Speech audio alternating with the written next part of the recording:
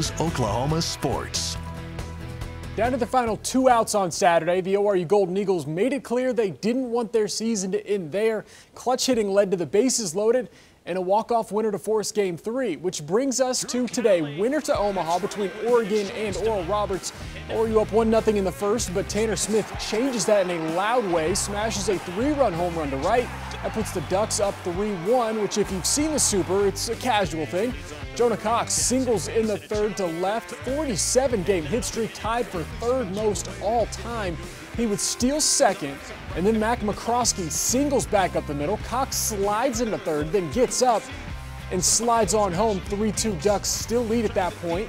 Top four, former Bishop Kelley Comet Jake McMurray gets his third hit of the day. That scores Jacob Godman.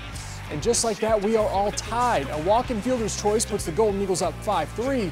Same score in the fifth. What looked like a foul ball out of play comes back in. Holden Breeze sticks with it, reaches over the dugout, and brings it in for the final out of the inning, leaving another stranded for Oregon. Second pitch, bottom sixth, Sabin Ceballos with some jet fuel behind it, 422 to the batter's eye and center, and all right, let's get weird. ORU lead trimmed to 5-4. Wild pitch in the seventh made it 6-4. Then Breeze hits it to short. Ball airmailed into the Ducks dugout.